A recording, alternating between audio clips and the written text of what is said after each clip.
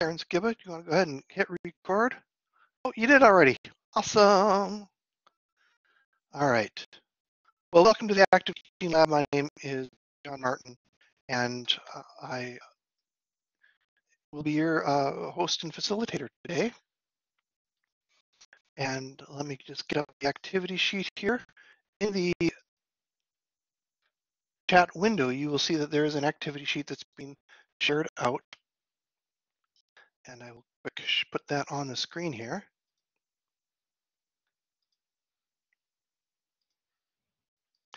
Um, if you've not been to an active teaching lab in the in the past, one of the things that we do here is we try to offer multiple means. If you're familiar with Universal Design for Learning, you remember multiple means of engagement and of representation and of um, expression.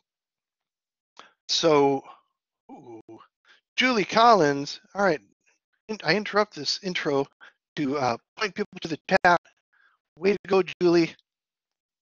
Um, she got the, the link to join at 2.30, and I'm going to take that and put that in another window here, just so I don't lose that after the chat ends today. All right. Well done. You get a gold star today, Julie. All right, back to what I was talking about. The first 60 seconds in Canvas. If you've opened up Canvas, and if you think back a couple of years uh, ago, um, on campus here we had Moodle and we had Desire to Learn, and um, and then and some people used WordPress. Uh, there's an instructor who used the knowledge base documents um, there. Some people built websites uh, for their course, right? And there were lots of different ways that people would share course information um, to their students. And then simplify that because students would say they have to learn one thing for one class and another thing for another class, and then go to Moodle for the third class. Um, Canvas said, okay, students are complaining a lot, and we are supporting all of these different systems at great expense. Can we simplify? Um, can we just have one? And so we moved over to Canvas. Um, nice thing about Canvas is it's now consistent across campus, right? Students who come to your Canvas page know where to go for the most part because it looks and feels the same as what they learned in their other courses. Now there's some customization that you can do, of course, but for the most part, it has a, a same look and feel and the students know what it's like and they know where um, assignments are and they know where the discussion is and they know how that discussion thread goes after they do it for a little while. So it's easier for them. What this means is they don't have to spend so much time saying, how am I going to figure out how to do this for the course? They can spend that time on what is the content of the course rather than the structure of the course. So that's good, right?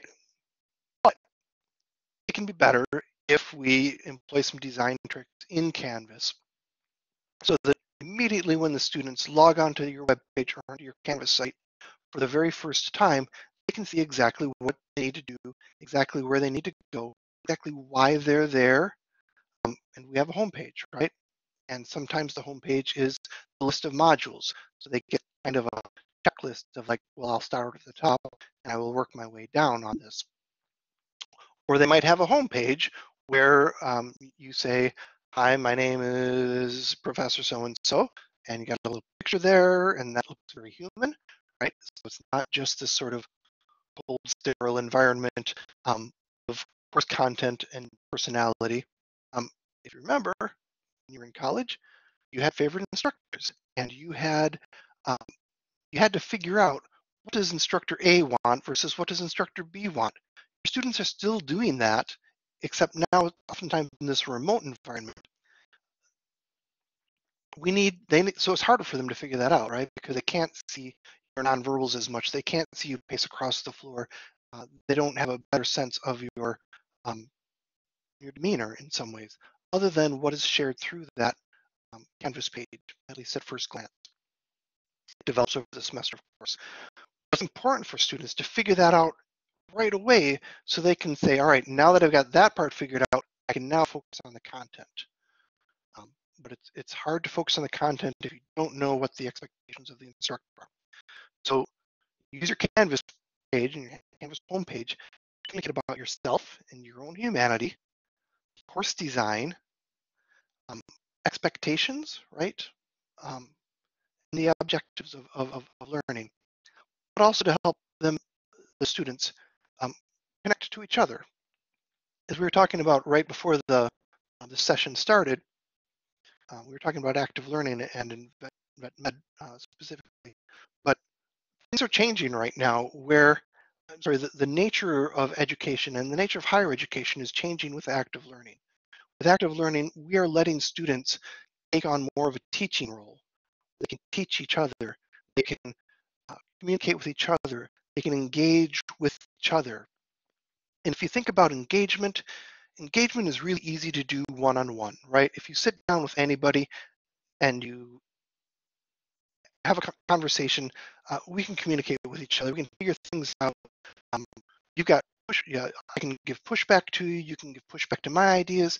Um, if we have three people, we get a third opinion in there. If we have five people, okay, starting to get a little bit unwieldy.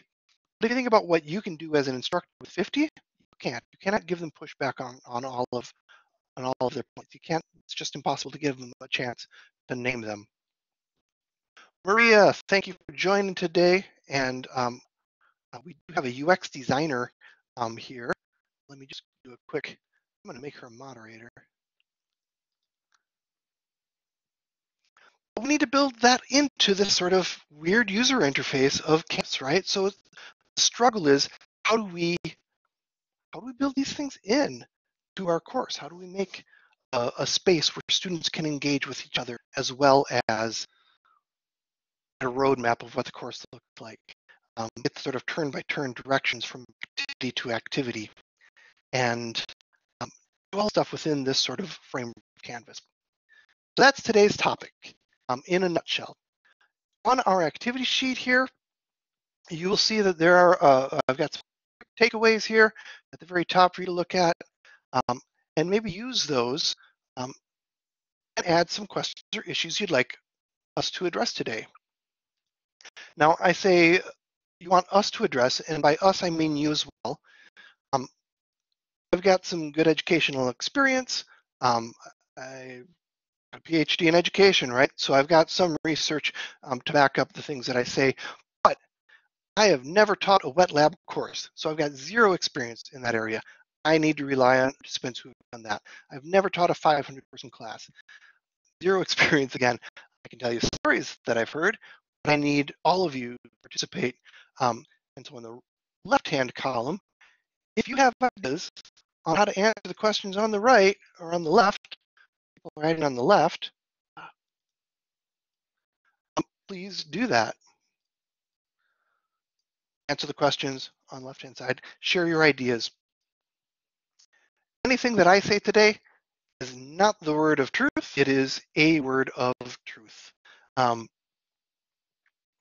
and I recognize the same for you. Things that work really well in the situations that I've seen might not work in your situation. Um, contexts matter, right? Contexts are different. And um, so we need a lot of ideas, and then we need you to engage and think about which one of these ideas will work the best for me. So, excellent. Farther down on the uh, uh, activity sheet, sheet's really a misnomer. We used to structure the active teaching labs where we would actually have you go through some things. Um, multiple means of representation and engagement. We have things, if you have all, if you've never worked on this before, I encourage you to start with the simple stuff. Start with the easy stuff. If you've gotten in there a little bit or you're getting familiar with it enough uh, that the easy stuff is boring, start looking at the medium stuff. Oftentimes we'll have some challenges in here. Um, for this Canvas stuff, I am encouraging people to, it's simple. So I have, I try to avoid the challenges, both for yourself. Um, if you're gonna build a course and then you leave, somebody's gotta fix that course afterwards or rebuild it. So don't make it too complicated. Keep it simple. Keep it simple for the students. Keep it simple for um, yourself uh, to fix and maintain and for anyone who comes after you. So avoid the challenge stuff. Easy and medium is good. So lots of stuff to, to look through here. Um, that's uh, different forms of representation, easy, medium. I've got a lot of links here. I've got a lot of um, graphics and such. But we are mostly a responsive session. So whatever ideas that you have, uh, we can talk about it. And in addition to the chat window here, and in addition to this table that I've got for ideas and challenges, I invite you to unmute your microphone and or raise your hand and let me know if you have something that is harder to uh, express than writing in, in text here. Uh, so use your microphone as well. Uh, let me just give you a second while I take a drink um, to do that.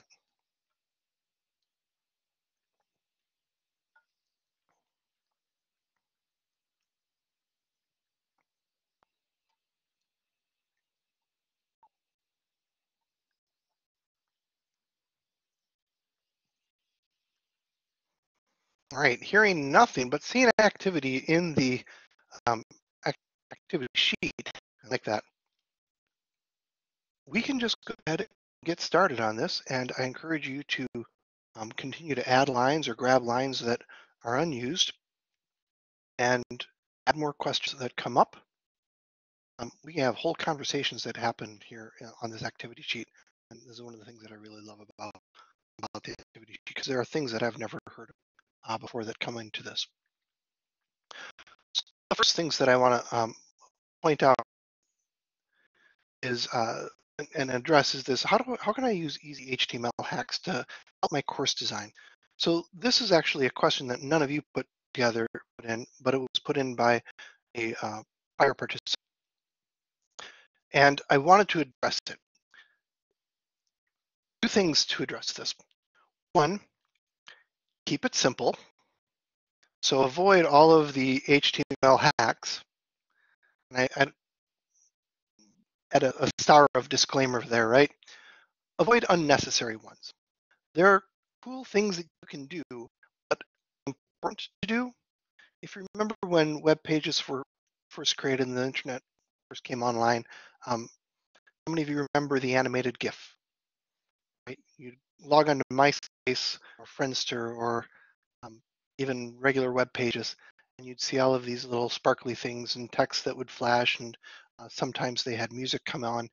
And the pages personal, they were kind of overwhelmingly complicated and hard to read, and it was um, sometimes really, really terrible design. You rarely see those anymore. And you rarely see those because keeping it simple is better user design. No longer are starved for information. We now are flooded with information, drowning in information. And so the simpler you keep things, the better it is for this for your students, um, for to be able to parse through it, to be able to figure that out. So we've got some information on ways to customize pages, but be careful when you use them because they can be overwhelming um, and complicated and they can break. Um, that said, this web uh, webinar talks about things like um, slides. A simple um, tool that most of your students, because they've come K-12, which uses Google Documents quite a bit and Google Tools quite a bit, they're already very familiar with this. And because they're familiar with it, it's easy. It's an easy tool for you to and use, and they will already. Um, so Google Slides, um, using table using dividing line. These are simple enough things that they're not um, they won't they won't.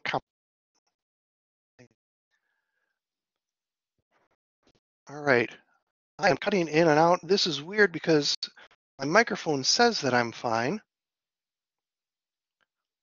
This is a terrible thing. All right, let me switch up my microphone here. And I will encourage someone else to uh, jump in and share an idea while I do that.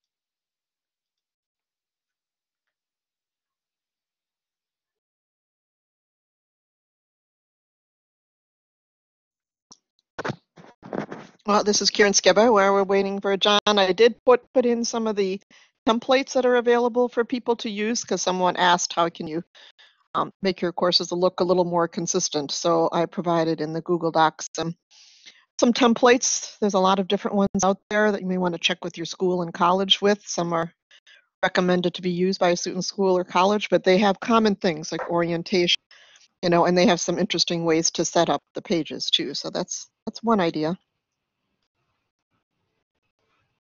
Yeah, and this is really a, a, a fantastic resource.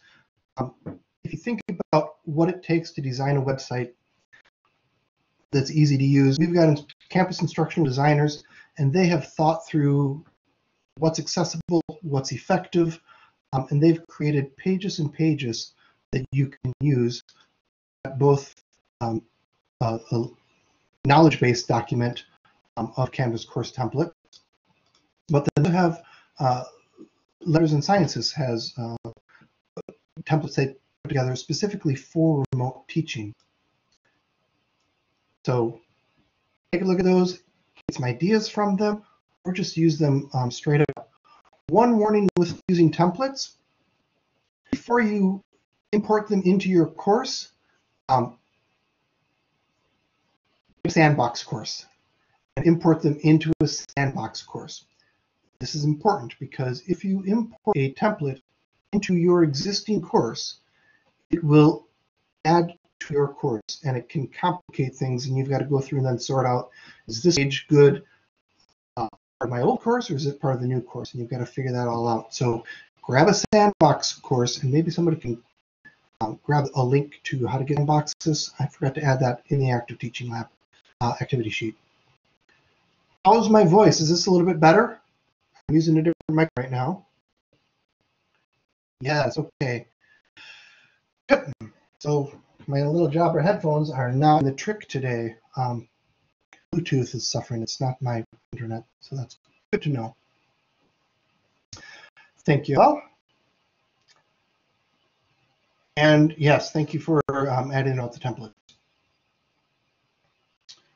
Next topic, what are some of the pros and cons of using modules versus linked pages to organize course content? All right, and that's a whole other question, how to use the mark as done feature. So one very simple way to start, other than using templates, is to use modules, right, as your homepage. And if you've got good course design or good organizational design, um, and really good naming conventions that are consistent throughout, um, it's not a terrible way to get it up and running. Um, when I ask people how to, or when I encourage people to design their courses, I often say start by using templates. I'm sorry, start by using the modules and get your sort of uh, this comes first and in this unit we'll have these different parts. It's kind of like creating an outline using the modules, right? Um, you can indent and you can add Unicode um, icons, so you can add a limited amount of symbols. I've got information on that down at the bottom here. Again, use caution when you do this. Some of them don't make any sense. Um, so if you are going to use these icons, make sure that like a home for homepage, that's kind of a universal thing. Um, Canvas you might remember has a rocket ship for quiz. I mean, that doesn't make any sense. That's the use of an icon that just doesn't make sense to have assessment be the spaceship. So use those carefully. Uh, make sure that they're universal, not just in your class, but across the internet language. So you can use modules, but modules don't let you add a lot of context around um, the content that you're going to be sharing. What I mean by that is it's important to know what to do, but it's also important to know why should I do this? How does what I, you want me to do connect with what we learned last week? How does it connect with what our objectives are for the whole course? that information needs to be communicated over and over and over again to remind the students before the activity, after the activity, so that they can reflect on it, before the activity, so they can go along in the activity and be like, oh yes, I need to, I need to get X out of this activity. Uh, this is why I'm doing the activity. That's my motivation for getting in. It's important because of these learning objectives. And after the activity, what did I learn? Did I learn, oh yeah, these are the things that I was supposed to do. Did I do that? Yeah, I guess I did. Or, and here's how they connect with my personal um, path or the reason that I'm taking the class, my vision for taking the class, my vision of success, that personalization of learning. Uh, modules don't let you, they don't give you enough space for that stuff. So some people like to use pages. And on that, on those pages, think about links to modules, right? Think about links to pages and quizzes and readings and videos and whatever within that page. In that page, you had a paragraph of this is why I want you to do it. These are the things I need you to get out of this. And even have some questions. Why do you think that this is important? So that's a really good way to, uh, use pages. Um, one other consideration for organizing course content, especially if you want the students to come to class prepared, put content that you would put in a page in a quiz. You can have a paragraph, have them read that paragraph as the text question, right? And then ask them a quick little knowledge check. Did you get this out of it? You can embed documents in that um, rich text editor in the question. You can embed videos in there. You can embed a section of a video, right? So use start and stop feature um, when you embed videos where it says this YouTube video, but start at you know 35 seconds and end at a minute 26. Use that code, put it in that um, quiz question, and then for that section, whatever the points are of that, give them a little knowledge check after that.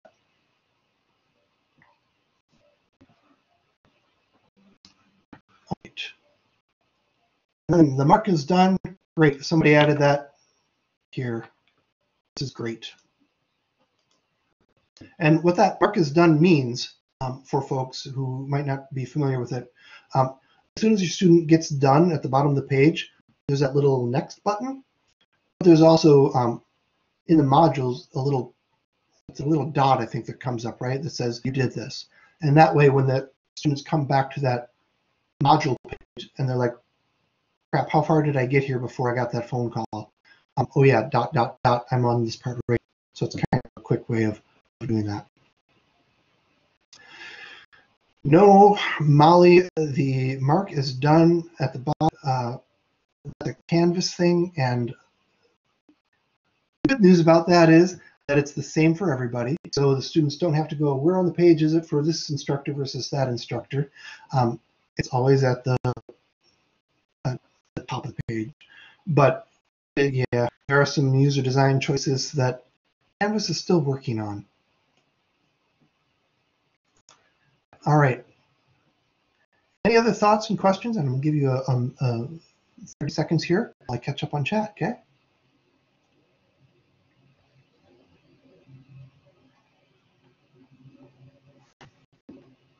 All right, one of the things that uh, that Angela put in chat that I like this idea as well, a combo of pages and modules.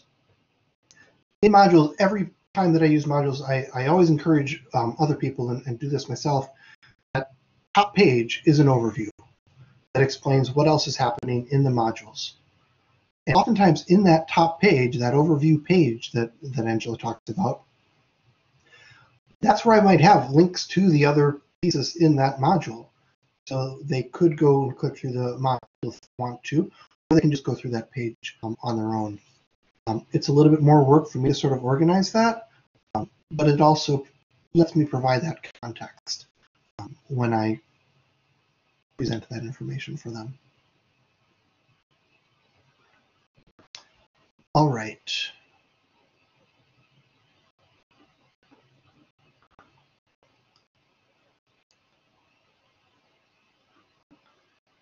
Yes, the mark as done. All right. Okay, here's a good question I don't know the answer to. What maximum number of words that should be on the home page? Um, I'm going to um, alert Maria to um, if she has internet research on how much information should be on a page uh, to jump in if she'd like to. Um, and in the meantime, I'm just going to come in and say, well, it depends, because um, that's always a safe answer. Right. Um, hi, John. Yes, I will pipe in about this. Um, and it, I think you're right that it does depend. So um, in the activity sheet, um, below what you had posted about the HTML hacks, I plopped in there something that are called um, usability heuristics. Um, so these are general heuristics. Now there are lots of different permutations and formulations. These are 10 that we tend to use because they're well recognized, but um, essentially they're all sort of describing what makes a good interface. And one of those 10 heuristics is minimal and aesthetic design, uh, which means that essentially everything on the page is warring with everything else for attention. Now, you have also this um, idea, this uh, heuristic of you want to have your users recognize something rather than have to recall it.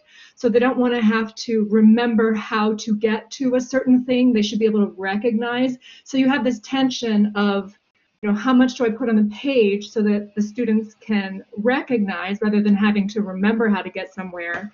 And then keeping in mind that everything on the page is warring with everything else for attention.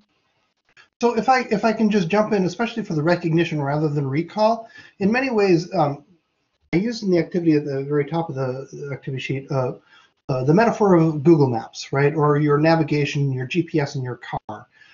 Um, it's important to have sort of that overview, right, of this trip's going to take six hours and it's going to, you know, there's the line of where we're going to we're going to go through Chicago or whatever to get there, right? That overview is really important so that we understand um, sort of what's going to be happening.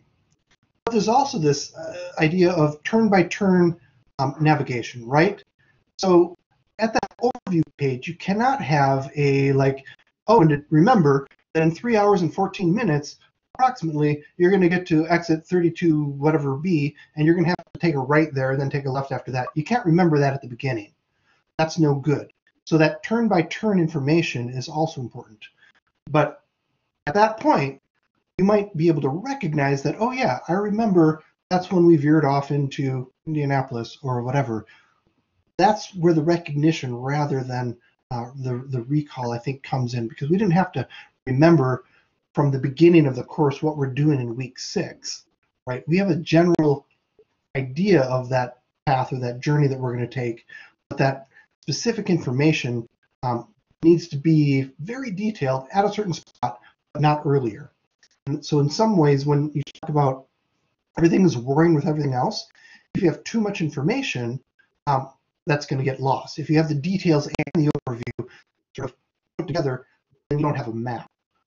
You need the details when you need the details, just-in-time learning, rather than ahead. Someday you're going to need to know to turn off to X38B. All right, good resource. Thank you very much.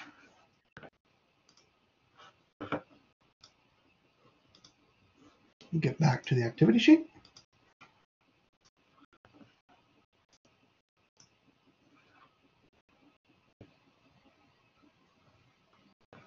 All right.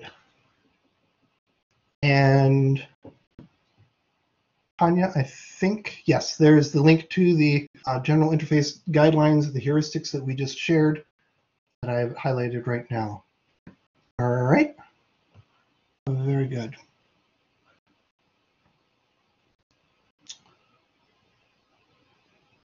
All right, and somebody added, just, wait, I skipped around too much, didn't I? All right, adding images to the Canvas pages. seems impossible. Yes, uh, Canvas does image integration terribly. And if you think it's bad for you as an instructor, it's even worse for the students.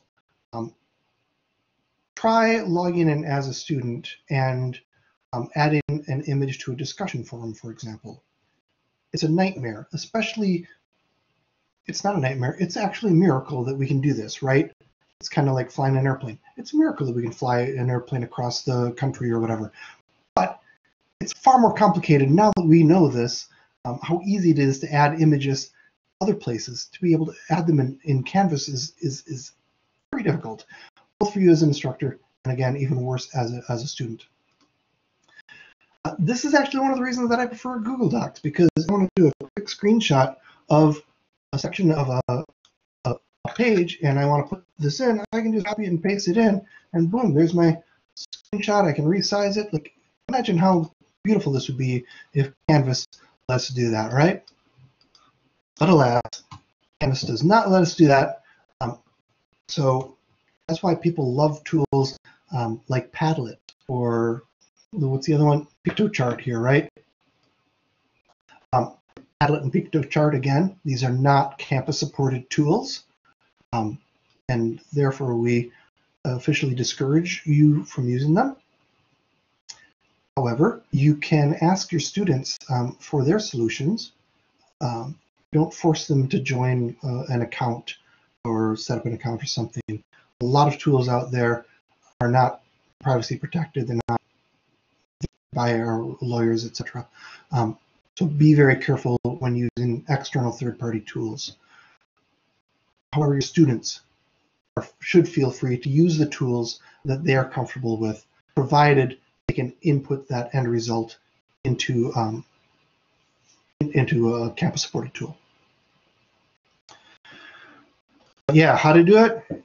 There you go. Upload images, upload new image, um, and it's complicated. And the file storage system in Canvas, if you've played around with it, it's also really terrible. So hope for better updates in the future. Yeah. Sorry. The simplest answer is don't use them. Right? But that's not a very satisfying answer. Um, maybe even things like using embedding Google Docs in there where it is easy, or Google Slides. All right, tips for using Instructure UI or something like it. I don't know what Instructure UI is. Click on that link real quick. All right, my guess is that this is a paid thing. And Instructure is the um, it is the company that owns Canvas. So if you like it, get into the Canvas community and tell Instructure to build it in uh, to Canvas itself. Has anyone else um, in the participants uh, heard of Instructure UI? Or, yeah, have thoughts on that?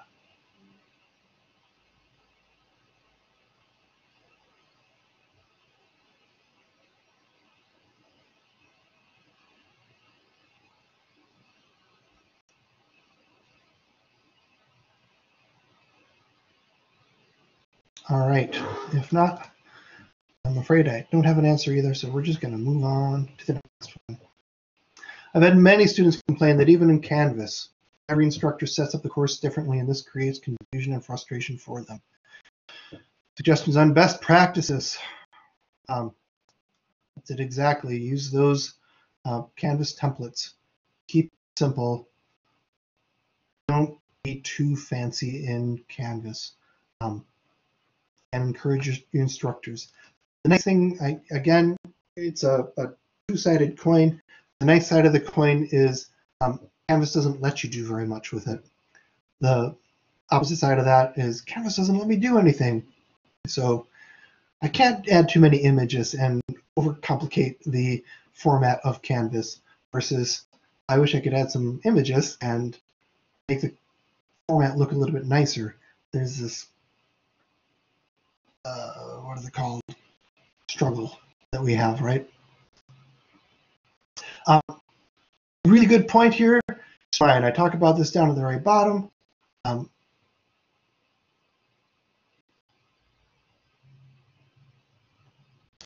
any of the navigation tabs on the right-hand side that you're not using, get rid of them. Um, turn off files because the file system in Canvas is really complicated. It's complicated for us to organize ourselves, and it's complicated for the students to find those files. Instead, add a file into a link on a page where you have context on.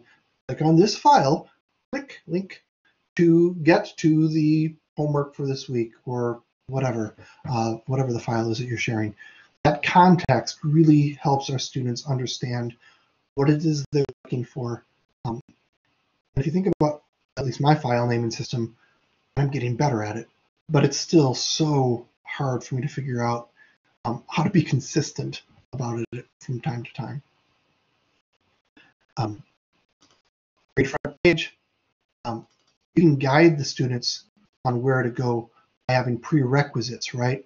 So in this way, you're taking away their ability to sort of jump ahead or to skip stuff. And they've got to click through every single one. For some students, that feels really constrained, it's also a really good way for you as an instructor to make sure that they all at least click on and open up and click on that mark as done page, right?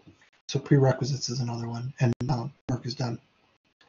Yes, Molly, we keep this activity sheet on and attached um, to the um, Proactive Teaching Lab course, uh, Canvas course.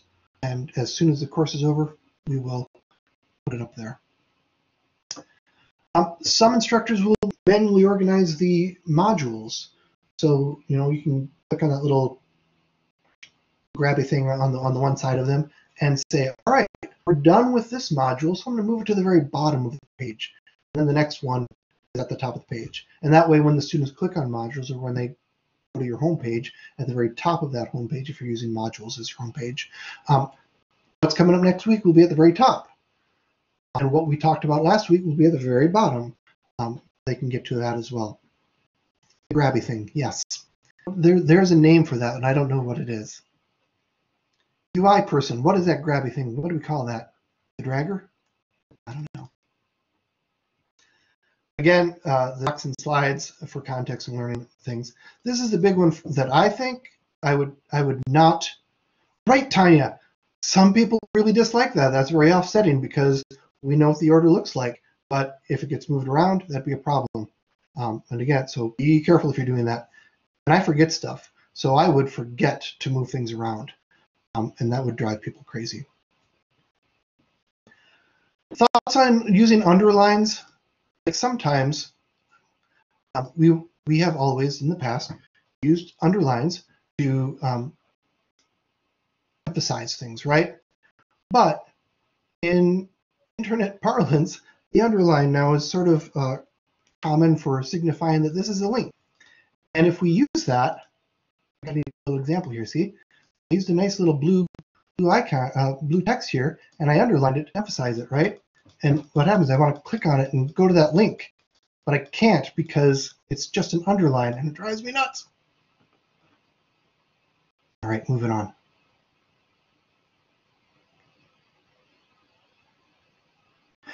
Um, whoever had this question, are there other ideas that you have or questions uh, that we have not talked about? simplifying the user design. I don't know what the grabby thing is called. We just call it a little finger pointer. But um, I will say that um, one of the other sort of um, adages in user experience is that remember that most people are on someone else's site and not your own. So we have this instinct or desire to like create something really, you know, um, specific and unique. Um, and then remembering that really most of your students are not on your page, they are on other pages most of the time. Like the time they're on your Canvas course and your page is a small percentage of the amount of time they're on the internet. So there are other platform conventions that are being used elsewhere, it's really best just to follow those conventions. Yeah, because familiarity, right? We have this sort of literacy language of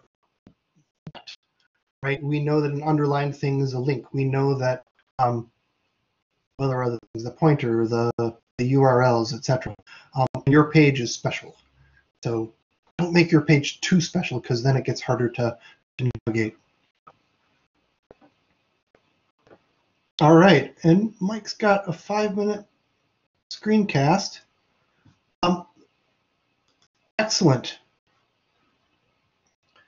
If you do have something unique explain it to your students. Um, and a, a, screencast is a really great way to, to kill a couple of these birds. Terrible metaphor, I apologize. Cover a couple of these things. One, it shows your personality. Two, it explains the logic and the way that you think, which your students will read between the lines that you speak and say, oh, if he's designing a web page in this way, there are a bunch of other assumptions that I can make about this person needs to have things their uh, non-standard way, right? So this is information that they want, that they need to figure out in order to be successful in your class. My understanding uh, is that it, that screencast would be very specific to your course, to that specific course. Um, and you can use tools like uh, Kaltura QuickTime on the Mac makes very easy uh, screencasts with audio narrative, um, uh, Screencastify, and there's a bunch of other tools online that you can use. Very good. All right. Pros and cons of using modules. Oh, wait, we talked about that. Good.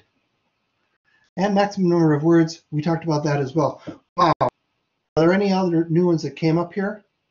We got through this page, this uh, activity sheet faster than I anticipated. So I'm going to encourage someone to fill in some blanks here or to add some more. Oh, there are more. I just didn't see them. All right, great. What are the educational plugins or extras that people suggest? Okay, this is a really good topic. And again, it builds on the idea that we are just talking about of keeping it simple, right? The and we recognize that there are discipline specific tools that your students might need to learn in order to have authentic experiences in your discipline, to learn your discipline and the practices of your discipline. We're going to set those aside and say, if you need to use those, use those, right? But let's talk about Padlet. Padlet is a fantastic simple tool. It's been used in K-12 for probably a dozen years. Lauren Rosen in here today, you can probably tell me. No. Um, and it's been vetted there and it's considered safe and simple and educationally rich. However, it's one more thing for your students to learn. And it's not vetted and supported at UW-Madison, so we, we won't encourage its use. It's one more thing. And if that's the one more thing that's in your class, and then somebody in another one of your students' classes uses a different one more thing, and then somebody in the third class uses a different one more thing, it can get very complicated. Think about our video conferencing here on campus right now. We've got Blackboard Collaborate Ultra, which we're using right now. We've got Zoom, we've got WebEx, uh, we've got Google Meet, um, what am I missing? Google, uh, Microsoft Teams. So think about what your student experience or what your experience is like navigating between those five things. Each one is a little bit different. The uh, Zoom is very capable, but it has lots and lots of different um, settings that you need to figure out. And they're very different from the settings in Blackboard Collaborate Ultra. So there are educational plugins and extras that people can use, and some of them are really great. Padlet is fantastic in my opinion, though not supported. H5P is also a fantastic um, tool for creating interactive design. And especially it's simple enough you can have your students create those in order to illustrate um, their understanding of a concept. Great uh, form of multiple means of expression for universal design for learning. However, it's only supported if you use it in a uh, Pressbooks. Um, so if you have your students create a textbook, for example, and you want them to have interactive activities in there, then you can use H5P. But it's kind of, you know, it is one other tool that they have to learn. So don't make it a one-off if you go down that route. Make it a part of your parlance or, or, or the logic of your class so that they're not just learning it for a, a one-off but it becomes part of uh, how they understand concepts. All right, and that's my thought on the interactive assignments. I know that the writing across the curriculum is working on um, some information for more interactive assignments.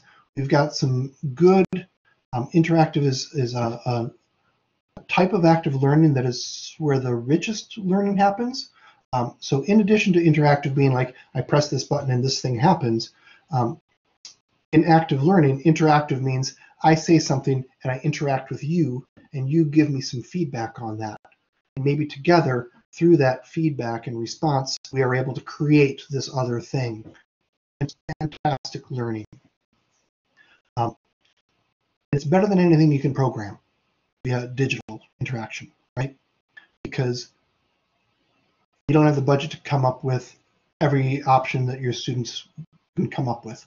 But other students can respond to them in a very specialized way um, on the fly. So use your students for interactive learning.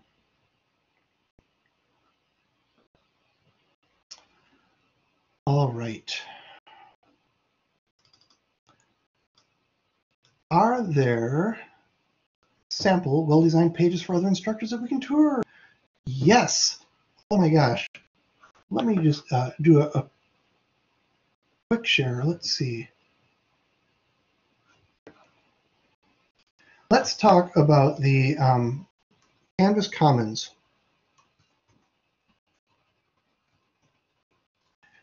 If you're not familiar with Canvas Commons, me put a activity sheet link for it. Oh, I have I have information on Canvas Commons. There it is. So this little red thing on, on the lower right hand corner, or lower, lower left hand corner of your Canvas course, right above help, there's a thing that says Canvas Commons. Commons. And in Commons, we have thousands of courses and pages um, and quizzes and all sorts of um, elements in Canvas that Canvas users across the world have contributed and said, I did this cool thing, I want to share it out. And you can go in and you can preview them and you can use them. Just as with templates, if you find one that you like, and you want to import it or download it, do that in your Canvas sandbox. Do not do that in your regular course because if you do it in your regular course, all of a sudden all of these other things in somebody else's course will come in and it's kind of like throwing somebody else's closet into your closet and trying to figure out then where's my favorite blazer. I don't have any blazers. Um, so use that sandbox course, but there are some great things in Canvas Commons, and you can filter it by K-12, you can filter it by your course, you can filter it by um, things from UW-Madison, you can filter it by all kinds of different um, filters that they have for that. So lots of good examples, um, the best in, best that's uh, been out there and shared. YouTube's another great spot for uh, well-designed courses. Very good. Anyone have other thoughts on that? I'm going to uh, see if I can catch up on the chat real quick here.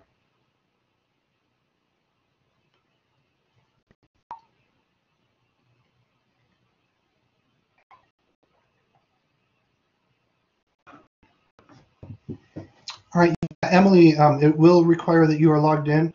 Um, so log into your Canvas course first, for example, um, and then you can zip over to that.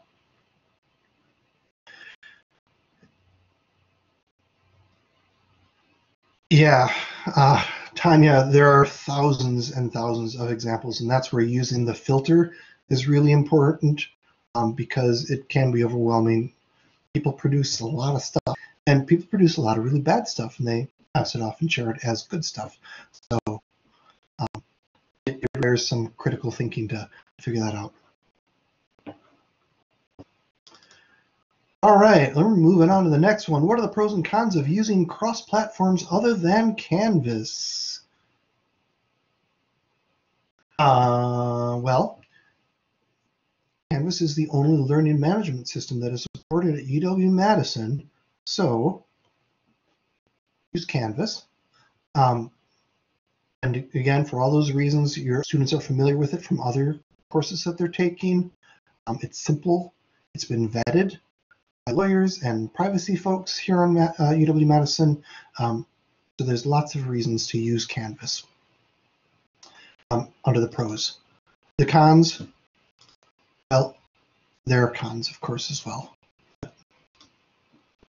Since there aren't a lot of other choices, we encourage you to use Canvas. All right, Zoom is a question, and I can give you uh, what I know about Zoom. Zoom is a campus-supported tool. However, it is not, at this point, a Learn at UW Madison-supported tool. So what that means is that Zoom is turned on on campus specifically to support administrative uh, meetings and things like that. It was not turned on specifically to support teaching and learning. Um, currently, the teaching and learning tool of choice that is integrated into Canvas is Blackboard Collaborate Ultra, which is what we're using right now. Now, if you've used Blackboard Collaborate Ultra, you might notice that there are also some issues with Blackboard Collaborate Ultra that Zoom handles better. This semester, um, there is a group on campus that is looking to do that integration um, between Zoom and Canvas. Next semester, that might be an option that is turned on. Um, but stay tuned on that. That's the information that I have on using Zoom. Um, and then our final question that we have in the last two minutes here is: Are as you survey students, would it be a good idea to ask them about the online logistics of the course? Um, not knowing exactly what that means by the online logistics, yes, you should survey the students. Do it a lot more than you usually do. If you think about remote learning, especially, and when we come back after Thanksgiving, we're all going to be remote. Um, so we aren't going to get the feedback, uh, that sort of informal feedback from our students' faces, the way that in a remote situation, the way that we do in a face-to-face situation. So to have to ask them. Ask them also to participate more than they normally would in a face-to-face course and to give you more feedback because, and be open and honest with them about this, it's harder for us to keep track of them and to know how are they doing? Is everything working? Are there things that I'm doing as an instructor that are not working for you that I could do better? Keep those avenues of communication open um, so that your students come to trust you and see that you care about them because that's important. Yes, ask them about the logistics um, for online. Recognize that some students are going to be sharing a computer with younger siblings who have to use it at certain times of the day. Um, the internet might go out, so they might not want to show their face on camera. They might have another desk with their uh, kids behind them. Um, things can be ha- chaotic in this time. And again, I want to point to that uh, trauma-based, trauma-informed pedagogy that's happening later on today. Um, can you share that link in the chat again? Things are messy right now, and the lines of communication between instructors and students and students and students need to be open and they need to be clear and you've got to ask them encourage them it's too easy to just kind of fade away and hope that it all goes away as i kind of crumble up in my closet um, away from everybody and when i do that i stop engaging in the class and when i stop engaging in the class i don't do as well and the learning's not as rich so help your students and help your students help each other. It's two o'clock. Um, thank you very much for joining us today. This activity sheet again will stay here. Um, keep this link, keep it open as one of your 50 tabs if you're a any tab user, um, and refer back to it. Add more ideas that you come up with it. Uh, come to the next week's uh, Active Teaching Lab and ask more questions there as well. We're happy to continue to revisit these things. Thank you all. Thank you, Maria, for jumping in and helping out today with the, the UX stuff that I am not familiar with. And again, thanks to uh, the moderators, Sid uh, and Karen, for helping out in the um, in the chat.